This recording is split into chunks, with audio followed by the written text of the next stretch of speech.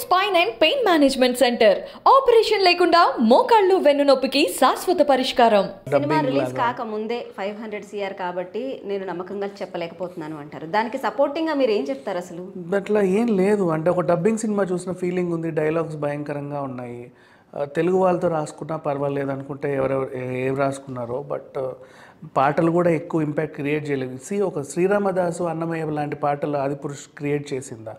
లేదు కదా. ఆ- ఆ బడ్జెట్ కంటే ఇది పదింతలు ఎక్కువ కదా. సో ఇంకా ఎక్స్పెక్టేషన్స్ ఉంటాయి బట్ అట్లా అనిపించట్లే. ఎవరికి ఆ feel తేలలేకపోతుంది so until and unless movie release అయ్యే వరకు వీ కాంటెల్ నెక్స్ట్ వీకే కదా. ఇంకో రెండు వారాలు పోతే వచ్చేస్తుంది. అట్లా బట్ ఎవరు ఈ పాన్ ఇండియా లెవెల్కి వచ్చే హీరోలని ఎంతమంది తొక్కేయడానికి ప్రయత్నించినా సరే ప్రేక్షకులు ఉంటారు నెత్తిన పెట్టుకొని చూసుకుంటారు వాళ్ళ సినిమా కంటెంట్నే చూస్తారు. బట్ వీళ్ళు ఎందుకు వీళ్ళ మాయలో పడుతున్నారో నాకు అర్థం కావట్లేదు. అదొకటే బాధేస్తుంది. But it's okay let's see next ఏం కాకపోతుంది సో ఆది పురుష్ గురించి మీకు ఒక కన్ఫ్యూజ్డ్ థాట్ ఆర్ ఒపీనియన్ అయితే ఉంది అని నెగిటివ్గానే ఉంది. But I I don't want to be negative అంటే నాకు నాకు చాలా ఇష్టం నాకు. Even I love Prabhas first of all నేను ముందు నుంచి నేను పోరాడేది అంటే ఆ, నేను వ్యతిరేకించేది ఏంటంటే ఎందుకు ఈ సినిమా అంటే ఇంత విమర్శలు వచ్చే సినిమా చేసుకుంటున్నారా అని. అది కెరీర్ మీద కూడా ఉంటుంది. అంటే ఇక్కడ లేకుండా పాన్ ఇండియా లెవెల్లో ఉంటుంది. పలానా హీరో అంట ఆయన ఆ బాహుబలి హీరో అలాగే ఇంకేదో ట్రై చేస్తే అదేదో అయ్యిందంట అని నవ్వుకుంటారు. అట్లా ఆ రిమార్క్స్ ఉండకూడదు కదా.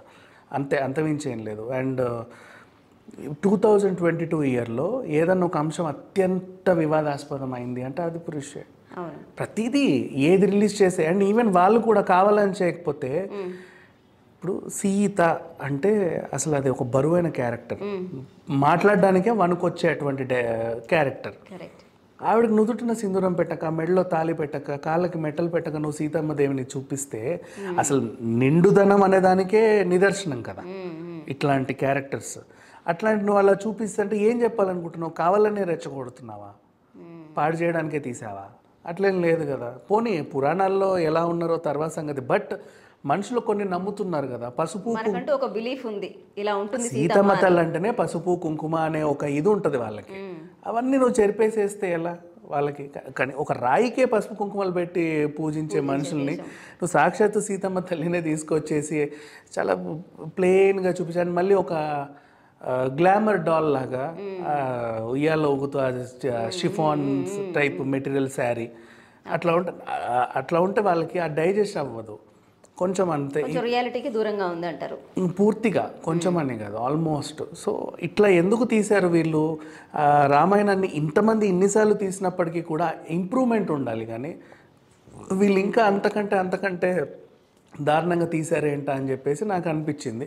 కావాలని చేశారో ఎందుకు చేశారో మనకు తెలియదు బట్ జరి అయిందేదో అయిపోయింది. బట్ ఇక ఇక మీదట నెక్స్ట్ అంతవరకు చెరిపేస్తే ప్రాజెక్ట్ కే అండ్ నెక్స్ట్ వచ్చే రాజా డీలక్స్ మారుతి డైరెక్షన్లో వచ్చేది.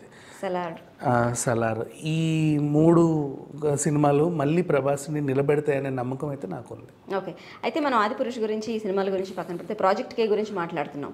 ప్రాజెక్ట్ కే అనేది ఇప్పటి వరకు చాలా పాజిటివ్గా ఉంది. అది నాగశ్విన్ మార్కెటింగ్ స్ట్రాటజీ అవ్వచ్చు. ఇంకొకటి అవ్వచ్చు.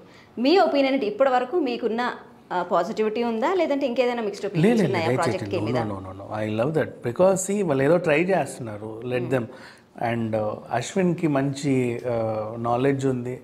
అండ్ తనకి సి ఇప్పుడు సావిత్రి గారి స్టోరీ మహానటిని ఏం జరగని విషయాలు కూడా జరిగినట్టుగా చెప్పి కూడా నువ్వు convince చేయగలిగావు. So how talented you are he's very good director I love him so అట్లాంటిది ఈయనకి ఇంకా ఎక్కువ బడ్జెట్ ఇచ్చి ఒక బరువైన రోల్ ఇస్తే దాన్ని ఇంకా బాగా చేయగలడు. ప్రాజెక్ట్కే బాగుంటుంది. అండ్ దీన్ని కూడా మధ్యలో ఒక రకమైన నెగిటివ్ చేశారు. అమితాబ్ బచ్చన్ గారికి చిన్న గాయం అయ్యి ఆయన వెళ్తే వీళ్ళు ఏమన్నారంటే అమితాబ్ బచ్చన్ వాళ్ళంట వీళ్ళని బెదిరించారు. ఈ షూటింగ్ ఇప్పటివరకు ఇక్కడ అయింది కదా సెట్ ఈ సెట్ అంతా మళ్ళీ తీసుకొచ్చి ముంబైలో వేయండి. నేను అక్కడికైతేనే షూట్కి వస్తాను ఇక్కడికి రాను అన్నట్టుగా వార్తలు పెట్టరు బట్ అందులో అందులోనూ నిజం లేదు అంటే వీలైనంత వరకు నెగిటివ్ చేయడానికి ట్రై చేస్తున్నారు. దేంట్లోనూ నిజాలు లేవు. అసలు కమల్ హాసన్ ఎందుకు వచ్చాడు? ఎవరైనా చెప్పారా? కమల్ హాసన్ అనౌన్స్ చేశాడా? పోనీ వీళ్ళు అనౌన్స్ చేశాడా? ఎంతమంది రాశారు ఎంత వైరల్ అయిందో తెలుసా అది? ఆల్మోస్ట్ హండ్రెడ్కి ninety members the believed in that but nothing అందులో ఏమీ లేదు. అట్లీస్ట్ వాయిస్ ఓవర్ ఇచ్చిన క్యామియో ఇచ్చిన విల్ బీ హ్యాపీ అనుకోలేదు ఎందుకంటే ఇంత వైరల్ అయిన తర్వాత ఆయన లేకపోతే ఏ మూలకు ఎవరు డిసప్పాయింట్ అవుతారో తెలియదు కదా. కనీసం ఆయన వాయిస్ ఓవర్ తీసుకున్నా ఎక్కడన్నా ఒక చిన్న క్యామియో ఇచ్చిన వంద మందిలో కనీసం తొంభై మంది అయినా ఈ విషయాన్ని బిలీవ్ చేశారు నమ్మారు. కమల్ హాసన్ ప్రాజెక్ట్ కేలో ఉన్నాడు అనే విషయాన్ని అంటున్నారు. ఒకవేళ ఉండకపోతే అది ఇంపాక్ట్ చూపిస్తుంది ప్రాజెక్ట్ కే మీద. అట్లా ఏం లేదులే బట్ మ్యాక్సిమం వచ్చినప్పుడే చెరిపేయడానికి మనలాంటి వాళ్ళు ఒకరిద్దరు ఉంటాం కాబట్టి ఇట్స్ ఓకే ఫేక్ అని తెలిసిపోతే ఫేక్ అని నమ్ముతారులేండి అట్లా ఏం లేదు. ఓకే